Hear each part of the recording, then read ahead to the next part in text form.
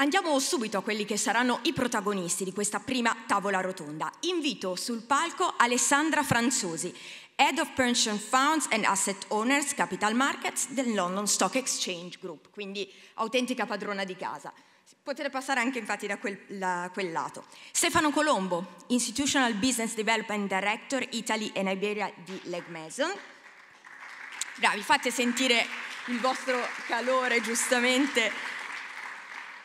Abbiamo poi Libero Giunta, responsabile della funzione finanza del Fondo Pensione Cometa.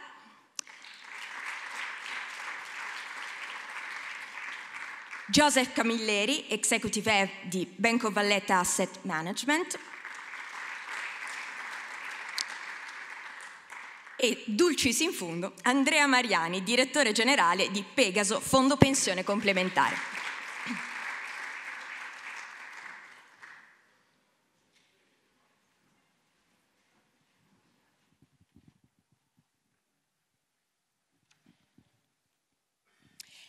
Eccoci qui, prima di cominciare un paio di note tecniche che vi riguardano anche da vicino. Ovviamente eh, voi ascoltate bene quello che diranno i nostri relatori perché al termine, per questo chiederò la puntualità anche a loro per avere lo spazio anche per eh, porre loro delle domande. Ma al di là di questo vi vogliamo rendere un po' protagonisti, tant'è che abbiamo adibito nel foyer una zona dedicata ai consulenti finanziari in modo tale che voi lasciate un videomessaggio. Le fonti si contraddistingue per le fonti TV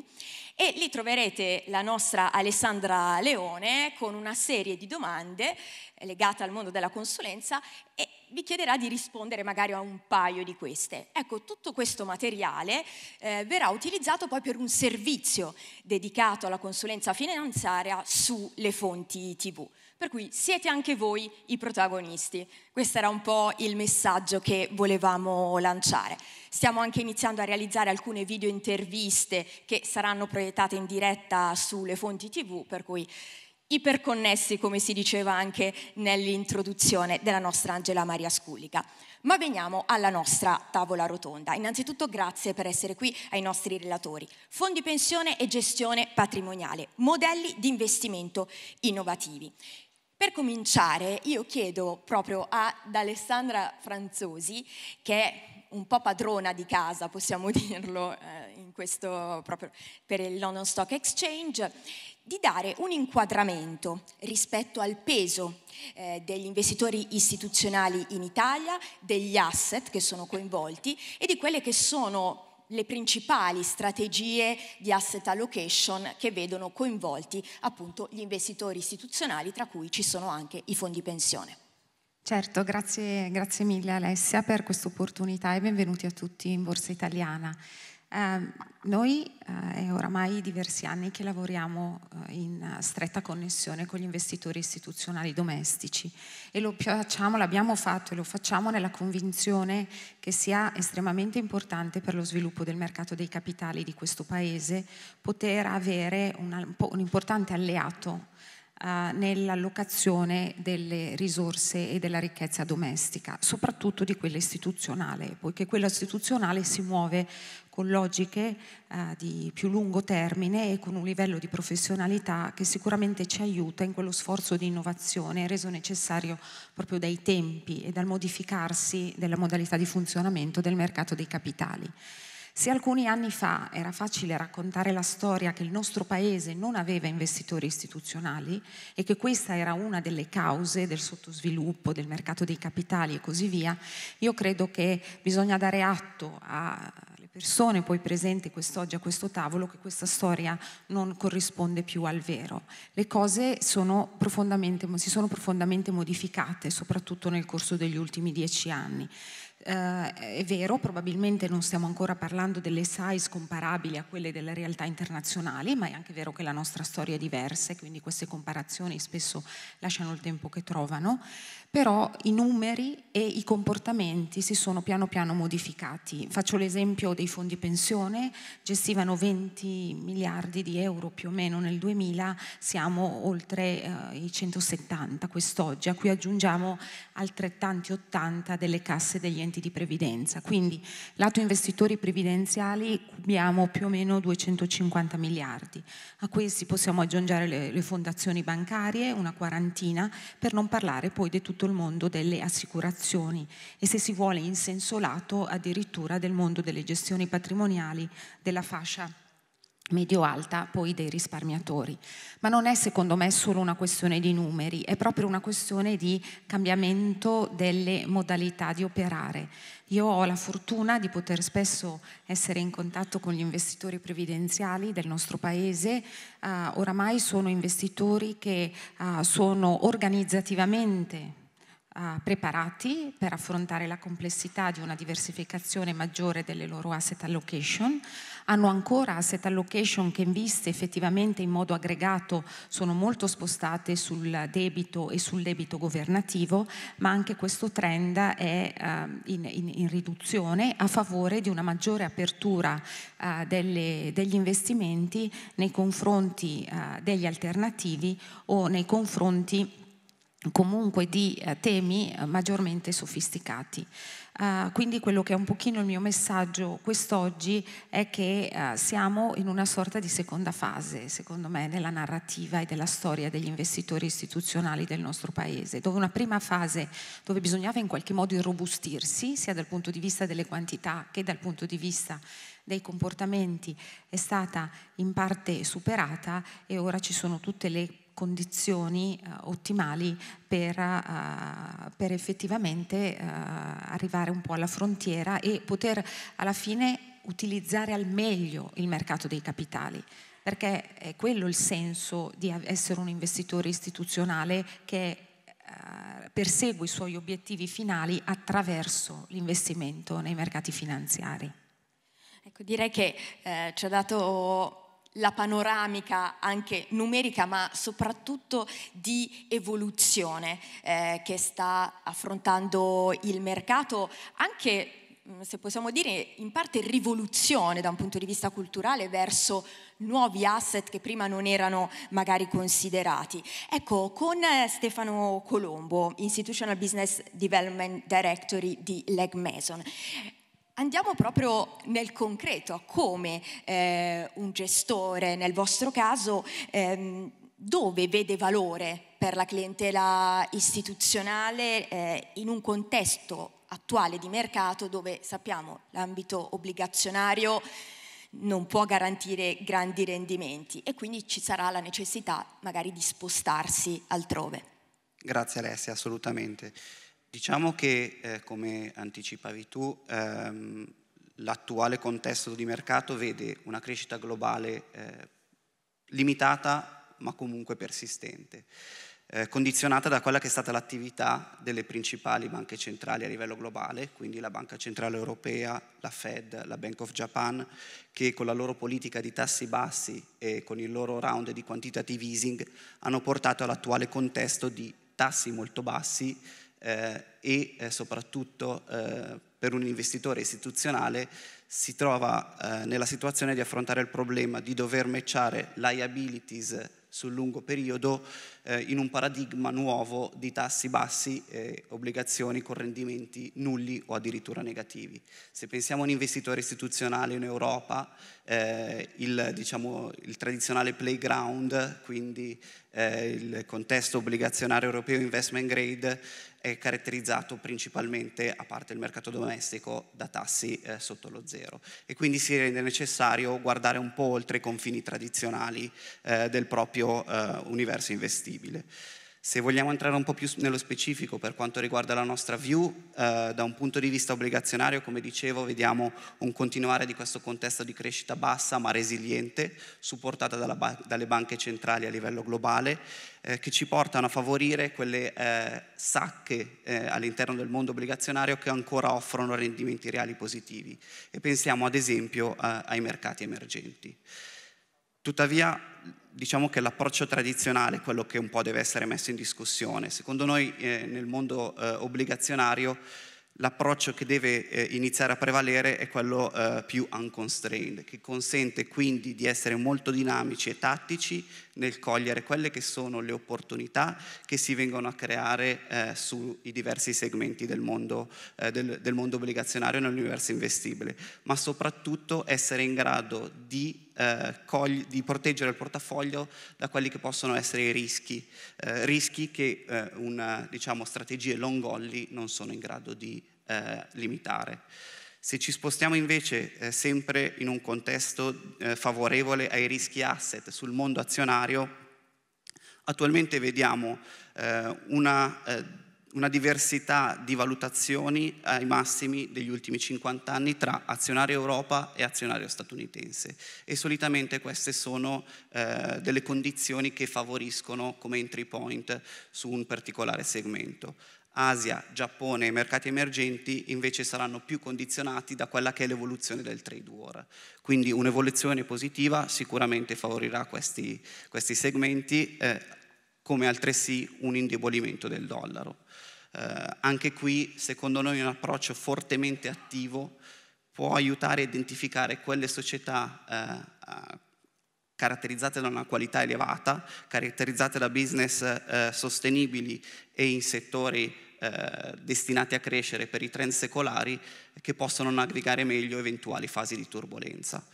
Come dicevo all'inizio però è proprio il panorama che deve essere ampliato in termini di asset class, in termini di quello che deve essere l'universo investibile, il playground per gli investitori istituzionali e quindi il tema eh, dei private markets. Private markets che secondo noi eh, trovano negli investitori istituzionali un, un interlocutore eh, perfetto perché sono caratterizzati eh, da tempi di detenzione sicuramente più lunghi rispetto a quello che è il, è il tema dei public markets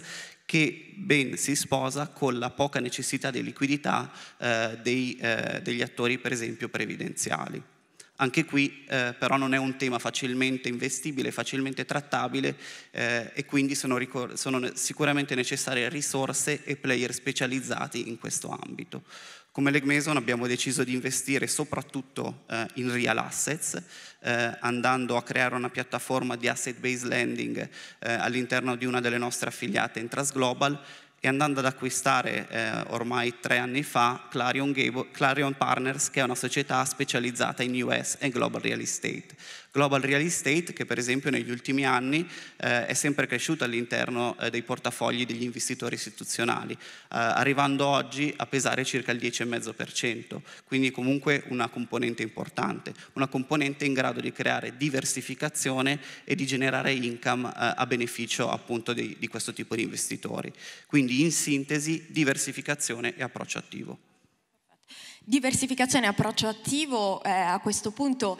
eh, prima di passare a libero giunta, a cui vorrei proprio chiedere se un tipo di approccio di questo tipo si può eh, anche eh, attanagliare a quelle che sono le vostre esigenze, ma a riprova ulteriore di quanto diceva Stefano Colombo, anche delle recenti eh, e recentissimi studi, come quello di anche un'altra realtà dell'investimento, Aviva Investors, ha presentato rispetto al mondo delle, dei real asset ed è emerso come eh, secondo la risposta di 500 top manager di assicurazioni e fondi pensione, eh, si segnala che il 51% delle compagnie assicurative e il 37% dei dirigenti dei fondi pensioni prevedono di aumentare i loro investimenti nei real asset. E dietro questa strategia c'è proprio un concorso di fattori che comprende oltre all'incertezza relativa alla crescita globale, la probabilità che i tassi di interesse rimangano bassi per un lungo periodo. Quindi direi che è perfettamente in linea. Ecco, mh, Libero Giunta, responsabile funzione finanza del Fondo Pensione Cometa. Eh, per agganciarci subito a quello che diceva Stefano Colombo, voi come gestite eh, i vostri portafogli magari se può dire due parole eh, di cosa si occupa comunque il vostro fondo. Allora, innanzitutto grazie per, per l'invito e la possibilità di dialogare anche tra, tra, i due mondi che deve essere, come è stato detto anche al, nell'introduzione, mh, aumentare il livello di dialogo tra cliente istituzionale e gestore. Come gestiamo appunto attualmente i portafogli e qual è l'evoluzione che si attende come ETA? Mi ritrovo molto nei, eh, due precedenti interventi. Innanzitutto mh, dal punto di vista di Cometa, eh, che è il fondo pensione dei metalmeccanici e questo è anche importante per eh, l'aspetto dei real asset. Noi abbiamo all'incirca 11 miliardi, più di 11 miliardi in gestione, abbiamo un tasso di crescita in questo momento che si attesta almeno a 900 milioni l'anno, per cui sicuramente le masse diventano sempre più eh, significative, sempre più importanti e aumentano la responsabilità della gestione di 400.000 eh, metalmeccanici, 400.000 aderenti. Eh, abbiamo fatto un'evoluzione molto importante mh, nel 2017 passando per quanto riguarda le mh, gestioni finanziarie, puramente finanziarie, in uh, gestioni completamente di tipo total return. Per cui innanzitutto mh, fondo pensione negoziale è caratterizzato in, dalla delega di gestione, per cui abbiamo eh, il dovere di segnare quello che è la strada maestra eh, e poi appunto eh, andare a cercare i migliori esponenti dei, eh, dei gestori cui delegare la, in cui delegare la gestione. Eh, passare alla gestione total return eh, si è cercato innanzitutto di individuare la strada nel limitare il livello di rischio. Spesso anche rispetto a quello che era stato il passato, con eh, la volatilità che eh, è iniziata anche a caratterizzare investimenti prima non caratterizzati da una certa volatilità e parlo ad esempio di quello che è stato e di quello che è attualmente la volatilità per esempio nei titoli di Stato italiani. Eh, noi precedentemente eravamo molto investiti eh, su bond, come attualmente, ma molto esposti sul bond italiano, per cui in alcuni contesti di mercato siamo arrivati ad avere circa il 50% dell'investimento in titoli italiani. E sicuramente questa è stata un'indicazione, spero che non ci sia nessuno del MEF in, eh, in, in sala, sicuramente è stata un'indicazione nel mm, appunto rivedere quello che è il concetto di diversificazione. Questo grazie anche all'evoluzione normativa che sicuramente continua a essere anche molto sfidante per, per, i fondi pensione negoziali perché abbiamo una normativa che si evolve e continua a evolversi. E, appunto eh, la possibilità anche di investire in asset eh, e in zone geografiche che prima c'erano precluse, sicuramente ha potuto eh, massimizzare eh, la possibilità di passare la qualità mh, del passaggio al total return. Per cui oltre a una gestione total return fondamentalmente cercando di togliere quello che è il vincolo del benchmark al gestore e di dare maggior libertà di azione, maggior dinamismo eh, nella possibilità di rispondere ai cambiamenti del mercato, è stata anche l'occasione per eh, ampliare appunto la diversificazione del, del, del portafoglio, per, con l'introduzione di AILD, con l'introduzione di emerging market, per cui diciamo, dal punto di vista puramente liquido eh, abbiamo un portafoglio eh, a parer mio correttamente diversificato e che sicuramente risponde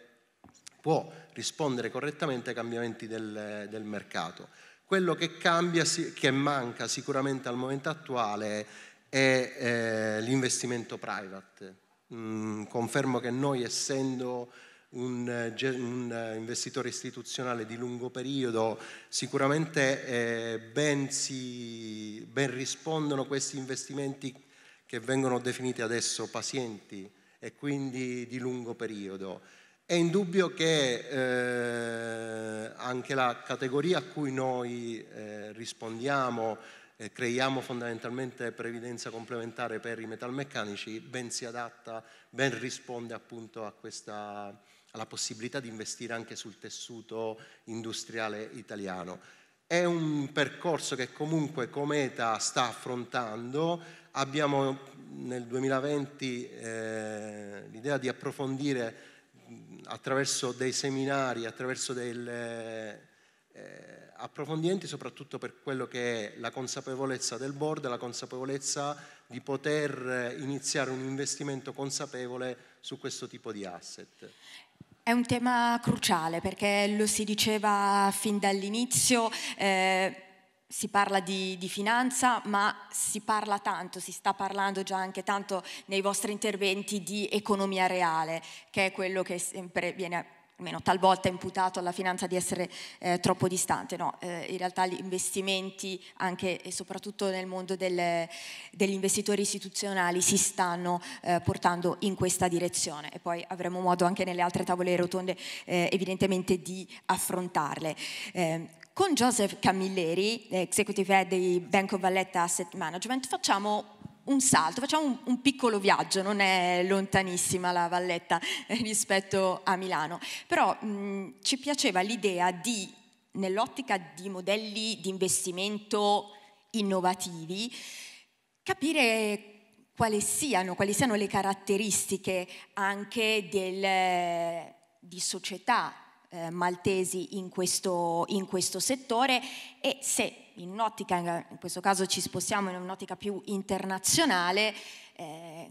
l'isola, le dimensioni dell'isola possono risultare riduttive per un investitore di un certo peso.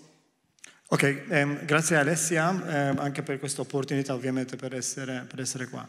Beh, in effetti ehm, Malta ehm, è un mercato di frontiera, non è neanche un mercato emergente perché ovviamente molto piccolo, eh, dato le sue dimensioni. Ovviamente le dimensioni di Malta, del mercato finanziario e dell'attività della borsa sono in effetti quelle che sono.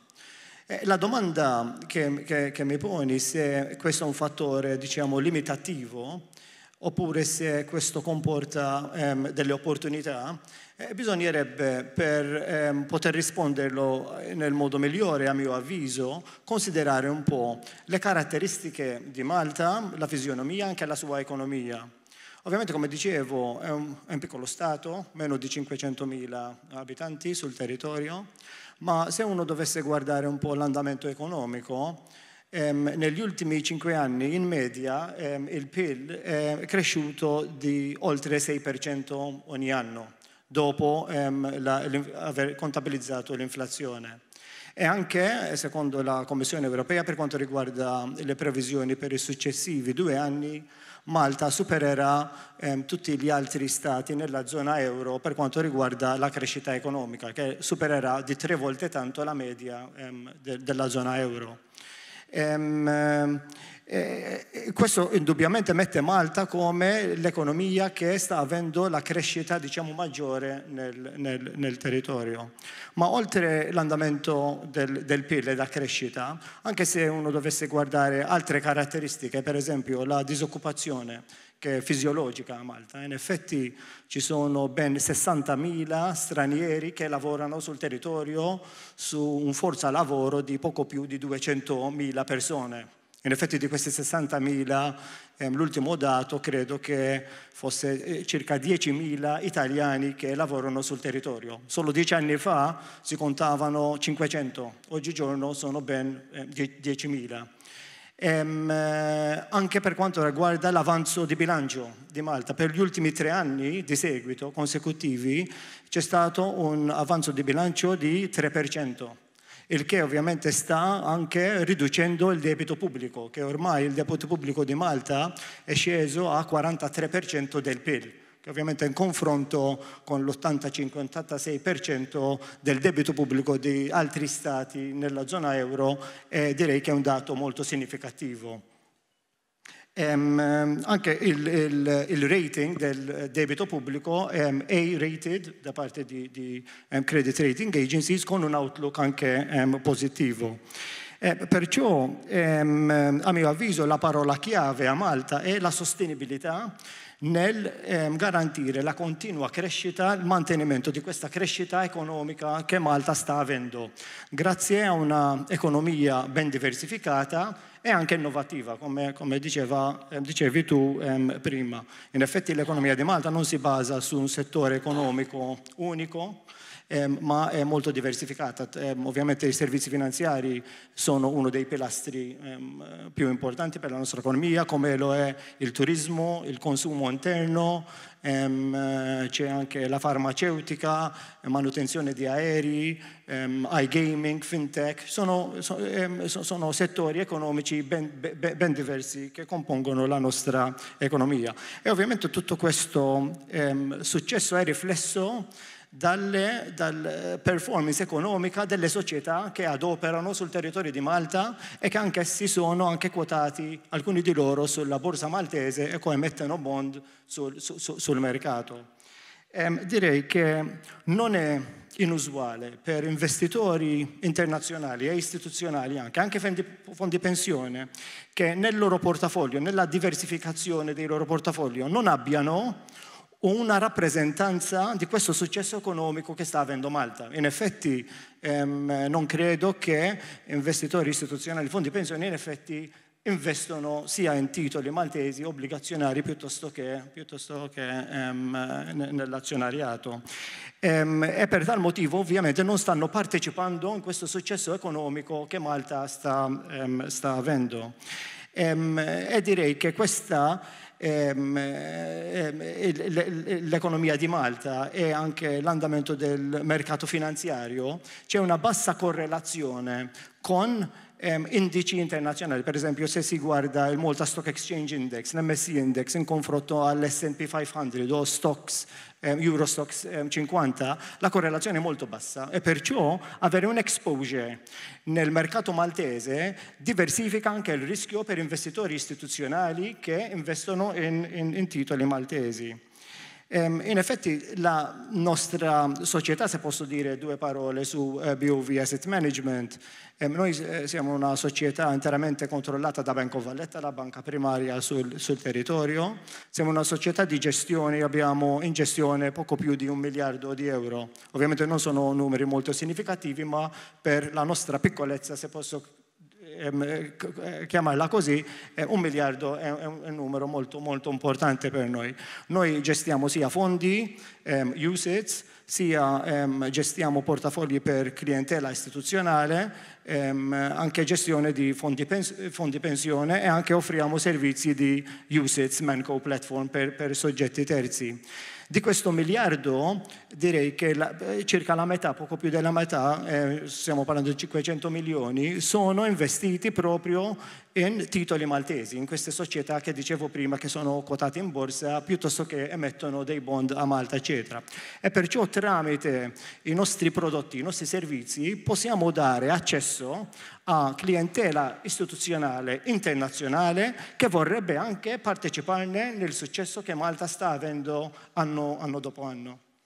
Perfetto, abbiamo avuto quindi questo viaggio un attimo all'interno del, del contesto maltese e delle sue, eh, delle sue opportunità, quindi anche qui un modello eh, alternativo anche rispetto a quelli che, che citavamo.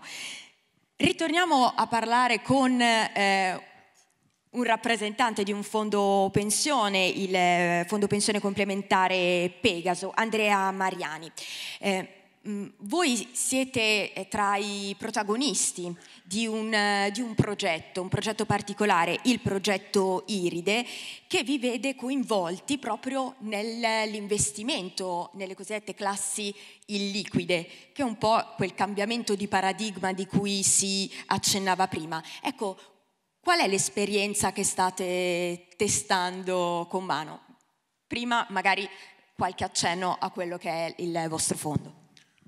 Buongiorno, grazie Alessia di questa occasione eh, di poter dialogare in questo panel così interessante e anche eterogeneo. Eh, sono stato agevolato da Libero che ha già spiegato che cos'è un fondo contrattuale. Noi siamo un cugino minore di Cometa, che è il più grande dei fondi contrattuali. Noi siamo un fondo di medie e mediane dimensioni rivolto ai dipendenti del settore dei servizi di pubblica utilità. Quindi qui a Milano i dipendenti di A2A sono nostri iscritti ad esempio. Uh, il nostro patrimonio gestito è un decimo di quello di uh, Cometa, un miliardo e 100 milioni comparato agli 11 miliardi, 33 mila iscritti, uh, chiaramente la scala nell'investimento finanziario rileva. Noi cerchiamo di diversificare fortemente il nostro patrimonio, come è stato ben illustrato anche da, da Libero per quanto riguarda Cometa, eh, nel tempo l'abbiamo ampliato notevolmente l'universo investibile, oggi per la parte azionaria e obbligazionaria il riferimento è il, il, il globo, quindi un investimento globale, eh, aggregate nel caso della parte obbligazionaria eh, e all countries nel caso della parte azionaria. Però se andiamo a vedere dove non investiamo, c'è ancora molto su cui noi non investiamo, perché diversificare significa anche però assumersi rischi, rischi che devi essere in grado di gestire, controllare e eh, monitorare. Eh, non investiamo per esempio in frontier market, non investiamo a Malta ad esempio, però investiamo in emergenti, che è un'innovazione degli ultimi anni. Eh, investiamo molto poco, se non nulla, nelle small caps, eh, che sono sempre aziende quotate, però con un profilo diverso dal punto di vista della liquidità e non investiamo fino ad oggi in asset illiquide, private markets eh, in senso ampio. Uh, essendo più piccoli abbiamo più problemi di eh, sostenibilità dei costi quando si va a diversificare su asset class che richiedono competenze specifiche. Noi sono anni che stiamo ragionando su come entrare in questo settore e poi due anni fa circa siamo partiti con questo cosiddetto progetto Iride eh, con altri quattro fondi pensione, eh, Fondo Energia, eh, Fondo Previmoda, Fondo Gomma Plastica e Foncer, Fondo della Ceramica, fondi che sono in aree contrattuali limitrofe alle nostre dal lato della contrattazione collettiva, eh, per eh, condividere risorse e intenzioni nell'investire in, innanzitutto in private equity. Eh, abbiamo scelto una modalità non usuale di investire in private equity, il mandato di gestione. Come ha anticipato bene Libero, noi non possiamo investire direttamente sui mercati quotati, in teoria potremmo investire direttamente in FIA di private equity, private debt, infrastrutture, perché la legge ci consente questa forma di investimento diretto, però è una forma poco usuale per come siamo stati eh, creati. Per noi la delega di gestione è molto più naturale e l'abbiamo voluta riproporre anche nella selezione dei FIA di private equity. Abbiamo fatto una gara per 216 milioni, l'abbiamo portata a termine, abbiamo individuato un gestore che è Neuberg e Berma, stiamo definendo l'aspetto contrattuale e speriamo nei primi mesi del 2020 di fare i primi eh, conferimenti al gestore che a sua volta poi farà, eh, i, sottoscriverà i primi commitment in alcuni dei fondi che ha selezionato per nostro conto e che sottoscriverà per nostro conto. Uh, la dimensione di questo investimento è quella europea, ma con un sovrappeso sull'Italia, proprio perché comunque crediamo che questa è una buona occasione per assumersi un maggiore bias verso l'Italia. I nostri portafogli eh, liquidi non hanno un bias significativo sull'Italia al di là del peso naturale che hanno nella capitalizzazione e nel debito mondiale eh, qui crediamo che abbia un senso avere un sovrappeso. Perché? Perché l'economia italiana è molto più presente nella parte non quotata e quindi ha senso anche andare a cercare del valore lì dove probabilmente ce n'è tanto, il tessuto delle medie e piccole imprese, che se crescono arrivano in borsa favoriscono anche diciamo, una crescita del segmento quotato. Uh, sempre però con il chiaro obiettivo di migliorare il profilo rischio del rendimento dei nostri iscritti. Noi non dobbiamo avere altri fini che quello di gestire bene le risorse dei nostri iscritti. Non scegliamo di investire di più in Italia perché dobbiamo sussidiare un sistema, noi scegliamo di investire più in Italia perché vediamo un'opportunità di rischio rendimento da cogliere. Questo è molto importante. Eh, pensate che fra alcuni anni un dipendente di un'azienda utility che magari non ha altre forme di risparmio, ha delle forme di risparmio molto eh, lineari, si potrebbe trovare un fondo pensione così ben diversificato da avere anche elementi di private equity, private debt, infrastrutture a costi decisamente contenuti per il tipo di impegno che poi avrà lui nel fondo pensione. Beh, direi che è veramente un, un cambio di, di, paradigma rispetto a quanto si diceva solo a pochi, a pochi anni fa. Eh, dottor Mariani dà l'asset perfetto per ritornare per questo secondo giro un po' più breve eh, con eh, Alessandra Franzosi. Eh, le PMI sono state citate, un altro termine che è ricorso è il tema della sostenibilità. Ebbene, PMI e sostenibilità sono per voi elementi chiave per sviluppare ulteriori eh, appunto, vie di investimento. Sì. È così? Esattamente, sono proprio le due, uh, come dire, parole chiave con la quale abbiamo cercato di intessere un dialogo costruttivo con gli investitori istituzionali del, del Paese, sempre nel rispetto, come giustamente ha detto uh, il dottor Mariani, di quelli che sono i loro obiettivi finali e i loro obblighi fiduciari nei confronti dei loro iscritti. Quindi stiamo sempre parlando di strumenti che devono restare all'interno dell'alveo delle modalità di allocazione di mercato. Il tema della sostenibilità secondo me è un bel modo per pensare eventualmente nel mondo dei loro investimenti cosiddetti liquidi occorra a, una, a guardare con un occhio di riguardo gli investimenti domestici, rispetto ai quali uh, può eventualmente essere interessante pensare effettivamente di sovrapesare qualcosa laddove ci sia una chiara um, mission di uh, sviluppo più sostenibile del nostro paese. Non a caso, e mi piace ricordarlo, abbiamo provato a fare questo piccolo esperimento nel luglio scorso qui in borsa, dove proprio sia Libero che Andrea sono venuti insieme ad altri fondi pensione negoziali uh, del nostro paese a fare engagement diretto con alcune delle nostre grandi società quotate, proprio per uh, dare un segnale forte della loro presenza su questi temi e di dare un segnale forte di un'apertura di dialogo su questi temi con il sistema produttivo del Paese. Il secondo tema è sicuramente il tema delle PMI. Giustamente ha, più, ha, un senso economico, una, uh, un bias, se volete, domestico rispetto alle PMI, sia per un tema di uh, maggiore prossimità uh, e, e, quindi anche si può, che si porta dietro economie di scala e di scopo ragionevoli anche dal punto di vista economico e ha un senso per la diffusione delle PMI. Su questo fronte il lavoro che è stato fatto nel corso degli ultimi due anni e che si concluderà a gennaio del 2020 è stato quello di aver promosso un tavolo di lavoro sugli investimenti in economia reale italiana, un tavolo di lavoro che aveva essenzialmente l'obiettivo di mettere a fattor comune le esperienze, di superare la narrativa del non si può fare, ma di lavorare insieme per trovare le modalità migliori e il progetto IRID mi sembra veramente un bel esempio che ha portato a fattor comune la potenzialità che hanno i fondi pensione, che è quello che non sono in una relazione competitiva,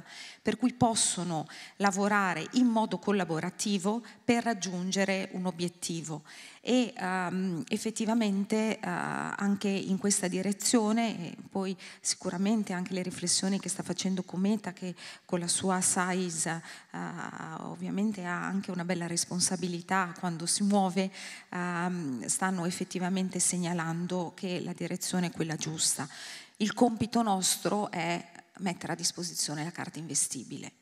perché eh, se è vero che loro stanno facendo il grande sforzo di aprirsi a questa asset class, è altrettanto vero che uh, bisogna poi avere sane e uh,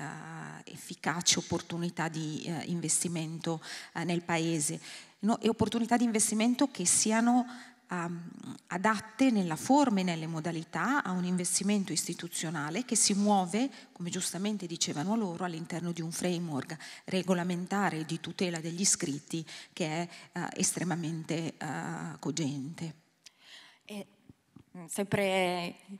illuminanti e danno veramente eh, tanti spunti eh, i commenti della dottoressa Franzosi. Eh, Stefano Colombo, proprio eh, in quest'ottica. Allora, come si può portare valore attraverso eh, gli investimenti, soprattutto se parliamo di piani di accumulo o decumulo e un tema che non è ancora emerso ma che è centrale rispetto anche ad un um, survey che PwC nelle scorse settimane ha reso nota sul grado di soddisfazione da parte degli investitori istituzionali e retail dei propri gestori. Ebbene, una domanda e una richiesta che viene fatta in più ai propri gestori è l'innovazione tecnologica, essere più presenti su quello. Ebbene, voi che tipo di strumenti tecnologici eh, adottate per anche i vostri modelli distributivi?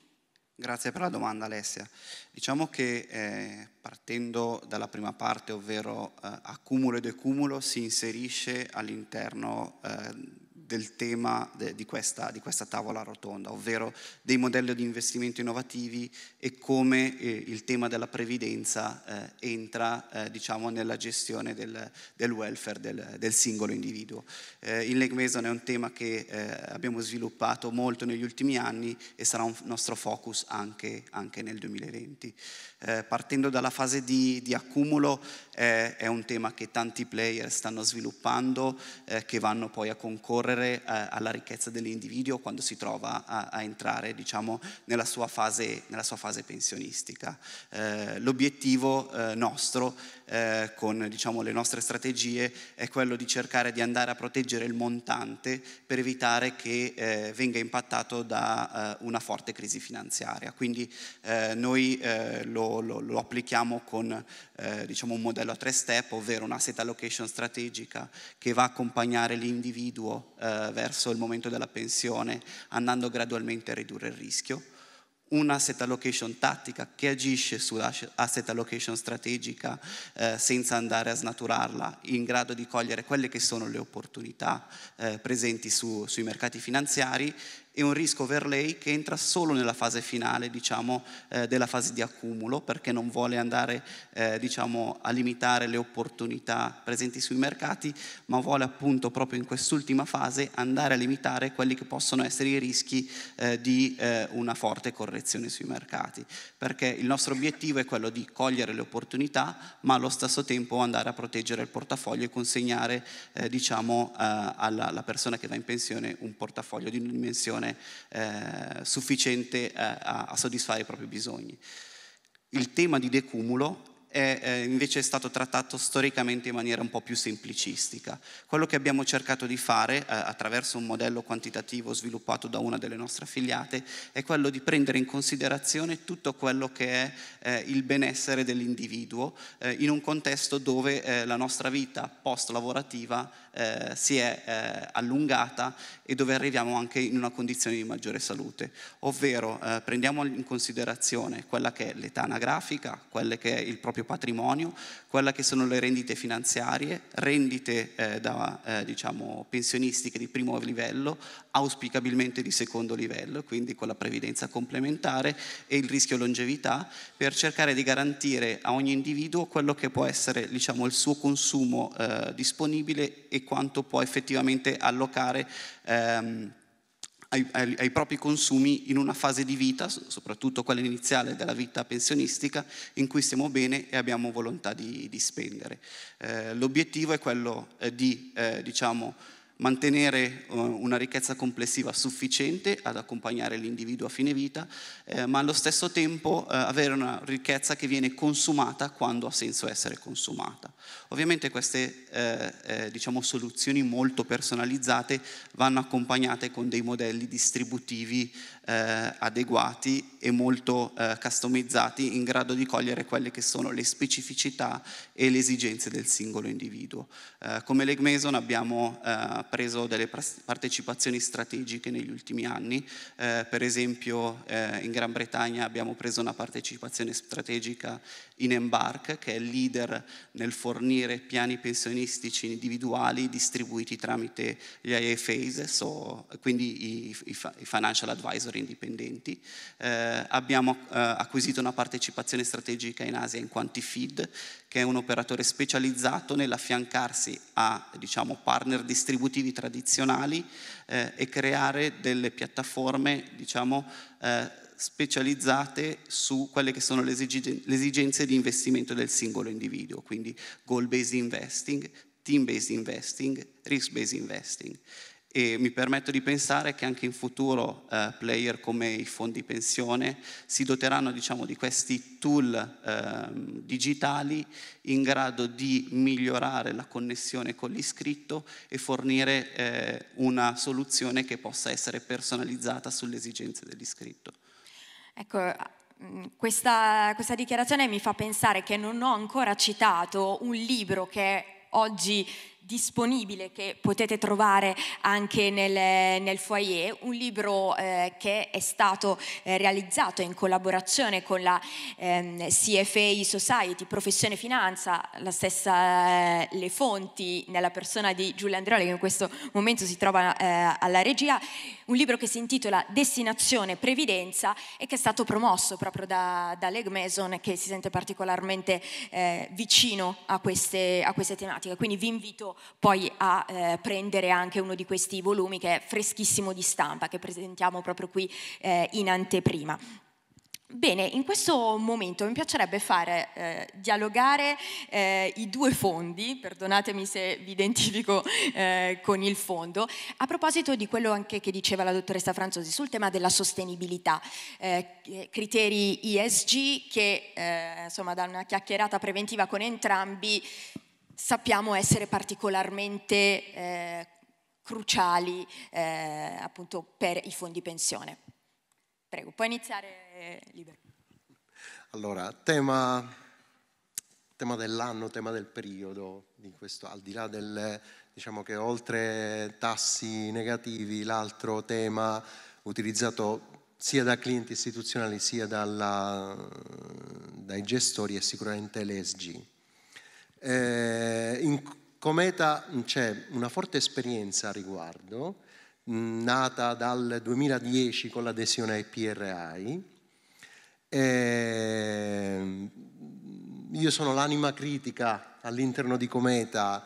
mh, perché non sono mai stato un entusiasta, ma questo percorso che abbiamo avuto quasi decennale in Cometa eh, sicuramente mi ha avvicinato e sicuramente ha, mi ha fatto apprezzare l'evoluzione che si è avuta sul, eh, eh, sul discorso di sostenibilità perché sicuramente all'inizio era una nicchia, all'inizio sembrava quasi un discorso, eh, tra virgolette, religioso. eh, adesso sicuramente i risvolti quantitativi, i risvolti soprattutto di considerare la sostenibilità come eh, un'analisi non finanziaria del, eh, delle società e eh, passare a un'analisi più quantitativa è sicuramente dal mio punto di vista nelle, corde, nelle mie corde e ritengo che sia eh, un percorso ormai che la, mm, la finanza sta percorrendo e non vi è una Brexit, non si può tornare più indietro eh, da questo. Però ci sono alcuni rischi, sicuramente un rischio in questo momento è eh, avere una sorta di bolla eh, di offerta, di, il green, classico greenwashing, e da questo punto di vista noi stiamo appunto molto attenti. Qual è l'approccio di Cometa su questo tema? Eh, noi appunto nel 2010 abbiamo aderito a PRI, nel 2012 ci siamo forniti delle nostre linee guida. Innanzitutto è l'istituzione che deve portare avanti eh, dei criteri di sostenibilità. L'obiettivo è che siano le aziende in cui noi investiamo a cambiare paradigma, non siamo interessati ad avere eh, lo strumento o il comparto con l'etichetta ESG, vogliamo incidere su quelle che sono le, le, aziende su cui noi investiamo. E per questo motivo fondamentalmente appunto come nell'esperienza che abbiamo avuto qui, è l'engagement quello che eh, Cometa ha interpretato come, punto, eh, come suo, sua leva per intervenire. Facciamo almeno una volta l'anno un'analisi del portafoglio dal punto di vista di rating ESG e quando vi sono delle controversie particolari cerchiamo di intervenire eh, su questo. O sponsorizzando appunto delle cordate anche con gli altri fondi pensione, con, asset, eh, con l'associazione dei fondi pensioni o facendo parte di cordate anche a livello internazionale. Quello che ricordo, diciamo, la prima esperienza che sicuramente è stata molto importante è stato un intervento eh, su Chevron eh, rispetto a alcuni disastri ambientali che stava facendo in, in Sud America. Credo che l'engagement e quindi comunque mh, mm, influenzare indirettamente su quelle che sono le scelte di, di, di, investimento e quindi non cambiando il profilo di rischio-rendimento sia mh, mm, una via eh, quella che sta percorrendo Cometa, sicuramente il diritto di voto ad esempio è un tema molto importante che ancora noi affrontiamo con, con molta attenzione con parsimonia, piccoli esatto, passi, esatto. Ma su cui magari ci troveremo a dibattere eh, il prossimo anno. Eh, Andrea Mariani, qual è la vostra eh, diciamo, applicazione dei criteri ESG? Sì, um, con Libero ci troviamo spesso a discutere di questo tema. Uh, io sono un po' più entusiasta di lui, uh, un, un, po' più ottimista. Uh, noi siamo come Pegaso, siamo partiti un po' dopo Cometa, ma comunque siamo diventati aderenti ai PRI come secondo fondo pensione italiano, eh, che ritengo comunque un bel primato perché ad oggi credo che siamo ancora pochi ad aver fatto questo passo. Abbiamo fatto tutta un'altra serie di passaggi importanti, soprattutto negli ultimi due o tre anni vogliamo caratterizzare l'azione del fondo sempre di più sotto il profilo della sostenibilità degli investimenti. Eh, dimensione che riteniamo eh, non sia più non finanziaria o extrafinanziaria, eh, è una dimensione dell'azienda. Eh, nel dialogo eh, che abbiamo fatto a luglio scorso qui in borsa è emerso che l'idea che esista un'economia finanziaria, un'economia reale, è falsa. Un'azienda quotata è reale quanto una non quotata, anzi forse anche più tangibile, più materiale sotto alcuni profili perché deve rendicontare molto di più. Eh, questa dimensione che può aggiungere valore chiaramente è molto importante per individuare anche dei rischi.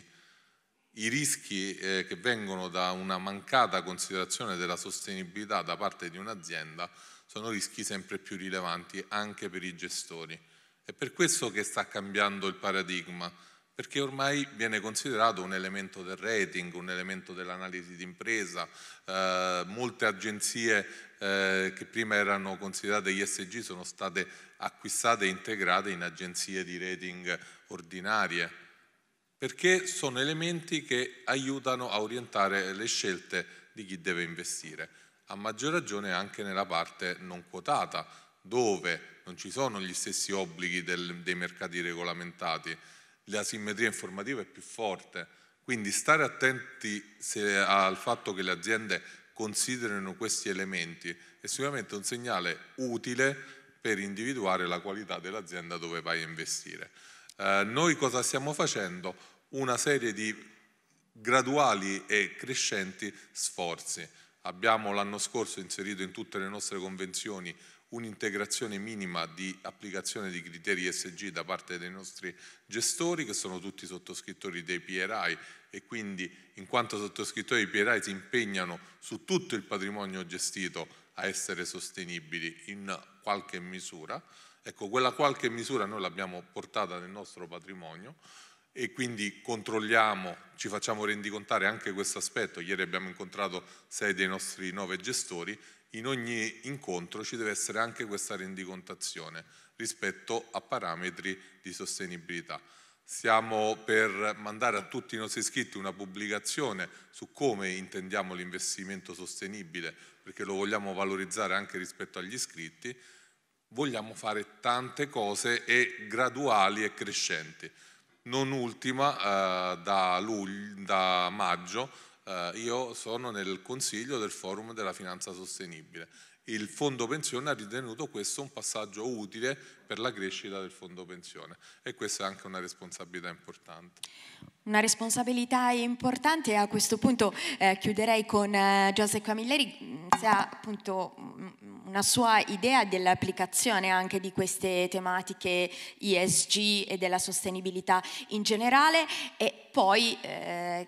chiudiamo sempre con quelle che possono essere delle peculiarità eh, di Malta rispetto magari ad altre giurisdizioni che possono renderla attrattiva. Sì, grazie. Ehm, allora, ehm, prima dicevo che Malta era un, era un mercato di frontiera, ma oltre a questo è anche uno strumento di mercato, direi. Malta si è posizionata negli ultimi anni quale giurisdizione, ehm, a, a, mio avviso, idonea per gestori di dimensioni medio-piccole. In effetti, oltre alle normative comunitarie, alle quali ovviamente aderiamo noi anche come USAID piuttosto che AFMD. Malta ha anche ehm, una normativa per quanto riguarda nel, sotto, ehm, nel settore alternativo ehm, quelli che sono, li chiamiamo i sottosoglia, fondi o gestori che sono sottosoglia, cioè non sono catturati nella rete della direttiva AIFMD che ovviamente ha un peso regolatorio abbastanza direi, direi pesante.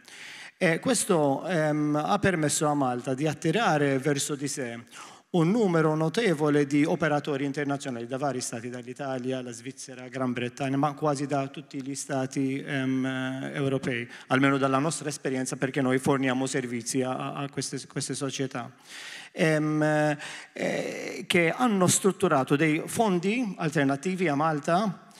in un contesto di una normativa molto flessibile. Quello che ha tentato di fare Malta è di emulare un po' il concetto ehm, tipicamente ehm, eh, chiamato offshore, come quello di centri tipo eh, Cayman piuttosto che BVI, eccetera, dove ovviamente le caratteristiche sono ehm, costi ehm, concorrenziali, efficienza nel, nel, nel ehm, gestire le pratiche per, per, per, l'eventuale autorizzazione, flessibilità anche per quanto riguarda ehm, investment restrictions che non ci sono in questi fondi alternativi, non c'è limite di leva, non c'è necessità di diversificazione. È una struttura che chiamiamo Professional Investor Funds che è stata, direi, ehm, gettonata da vari operatori internazionali che avranno trovato altre giurisdizioni più, più citati come Lussemburgo, magari proibitivamente troppo costosi,